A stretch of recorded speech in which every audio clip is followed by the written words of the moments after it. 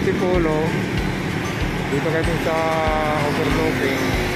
Tingnan namin yung building ng Metro Manila. Yung skyline. Ito yung papunta ng Antipolo, paahon.